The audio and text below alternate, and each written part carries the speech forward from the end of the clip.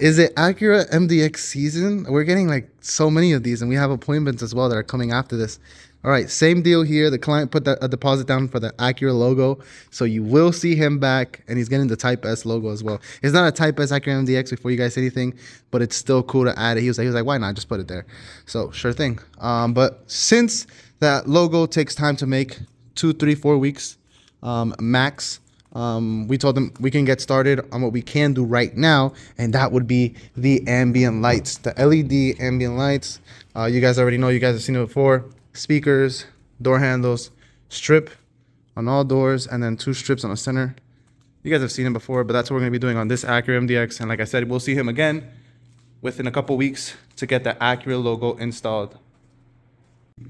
All right, since this is the YouTube channel, I am gonna take you guys along the journey on getting this stuff installed. Um, if you don't want to see all that boring stuff, then you can go ahead and skip to the future and see when it's done. Uh, maybe I'll put a timestamp if I know how to do that. But we're gonna be taking the doors off of a 2022 Acura MDX. But Junior, how do you take the doors off? I gotcha. So you're gonna take uh, this is my tool of choice. I love this tool. It's a pick. Uh, you're gonna take this plastic piece off. What you're gonna do is you're gonna pry it. So let me do that for you. Once you get that plastic trim off the way, you have two uh, Phillips screws, and you also have a hidden one. Let me see if I can show you. See that one right there? All right, and once you get all the screws out of the way, all that's left is to grow a pair. Do not be afraid. I know people they get scared when they're pulling the door because they feel like they're breaking something. It, that's exactly how it feels. You just got to give it a nice tug and it will come off because the rest is just clips. There's no screws. I promise I'm not lying to you. Um, tool of choice. This uh, popper panel tool. Plastic and smooth so it doesn't scratch the paint when you're putting it in between. Um, I already pried it off, but once you get a couple clips off, it's easier to just put your hand in and just tug on it, um, work your way around until the door comes off. And I'm going to show you guys how to take off the clips. I love to have like a little chair there so I can work calmly and the door is not under any stress. So uh, once you get the door out, you're going to have clips to remove or plugs to remove. They all have the same type of clip. All you have to do is just push down. So see this clip? Push and pull. And you just left and right till it comes off. Push left and right comes out. Voila. And then there's one here on the door. Um, this one's integrated into the door um, frame. So that one also has a clip. Let me show you. See there? On the right. Same same idea. You push it left and right until it comes off. Voila. You got the door out. Congratulations you did it. Um, so now you got to do this on all four doors. Let me give you guys a quick warning so the front door panels are a lot easier to take out. Um, the back door panels, it's, the same exact way to take it out, but there is a bulb down here. Um, there's a bulb down here, so meaning you cannot pull um, the door panel out the way you did with the front one because you will break the bulb. Um, there is a plug there, so what you have to do is, um, I can't show it to you because it's so like tight, you know what I'm saying? Um, you do want to pop out a little more like that. And there is a plug on this on this bulb. Do not pull it out more you will break it. Just simply put your hand in there figure out the I, mean, I can look down there and see what it is but I it's the same idea where you just push down the clip and it comes off. See if I can do it for you guys? There you go. Got it. See? It's this kind of thing. It's connected to the door. If you pull it out you will break it. Just quick warning on the back doors just the back ones. There is a plug down here that you do have to remove before you take out the doors. The two front ones are a lot more easier because it doesn't have that plug. And now that we got all the doors out of the way, these ambient lights do not turn on magically. They obviously need power. Um, so usually they come in a kit like this. This is the power and the ground. Um, fun fact about the Acura MDX, the latest generation. In this case, we have a 2022.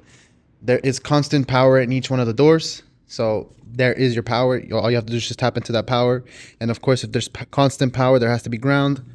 And there it is. They're both right next to each other. Obviously, you want to probe test it before you connect it so you know exactly what you're tapping into. Um, but yeah, uh, you can do it however you want, but that's the way we do it here at P&P Customs. So I'm going to get that out of the way. I'm going to connect and tap into all the doors. Now, for those who want to copy exactly what we're doing here at P&P Customs, this is how we did it. You want to make sure your connection is real tight the green is um on this is on the passenger front side of the vehicle. The green is your constant, and of course, black is your ground. Um, now, once you tap into those wires, we don't use the um, the ones that click onto the wire just because over time those get loose and loose and loose. Um, so we prefer not to use those. We use um, straight um, wire to wire connection. Um, we don't cut them, but we just make a hole into them, put the wire in, wrap it around, wrap it around with uh, electrical tape tightly so it never comes off, and then um, you have your plug here. You want to make it look as factory as possible, so we put factory tape around it, and then we leave it ready for when the door is ready with the lights all you have to do is just plug it in. It's that simple. Um, so it's that same exact idea on all four doors. That is how you get ready uh, to install um, having the power ready. Don't mind that loud heater noise in the background um, but we're still here working on the Acura MDX now yes we've already ran I showed you guys that we already ran the power and all that for the each door. Now how are we gonna do this, uh, the center console slash dash area?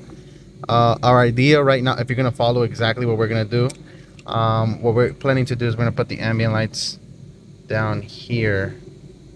Something like that. We've done it before so we're planning on doing it exactly the same again and then upwards like that.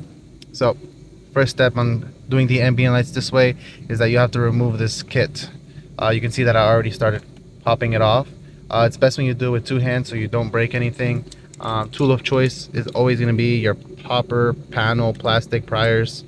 Um, they're very smooth and they barely scratch anything. If you're careful, you won't scratch anything. If you're rough, then you best believe you're going to break something. um, but yeah, you take this off very carefully. Um, it's hard to do it with one hand, um, but just have everything ready to install.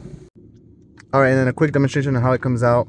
It's all plugs and clips. So no screws, all clips so just put in the right amount of pressure and it will come off don't do it too hard because you will break it so we have three plugs in the center area so there would be these and then you have one all the way in the corner that would be your push to start button over here after that then it's free to come out um, and now you have enough space to play now all that's left here is just to put the, the strips in and set up the doors um, the wiring is already all done that I will leave for you guys to play with because that's very subjective. Every shop does it their own way.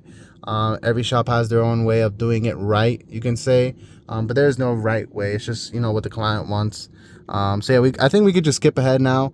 Everything has been disassembled and I don't think you guys want to see how everything is put back, put back together. It's the same exact pro process, but just in reverse. Um, so we can just showcase it, everything being done, all right? And this is what I meant when you can have several colors at a time. So you see how in the strip it's like multicolor. So you have green and yellow on one side and it keeps changing. That's the benefit of having LED ambient lights. Fiber optic cannot do this. Check it out, guys. Check it out. 2022 Acura MDX leaving the shop with ambient lights. Check it out. Check it out. Very nice.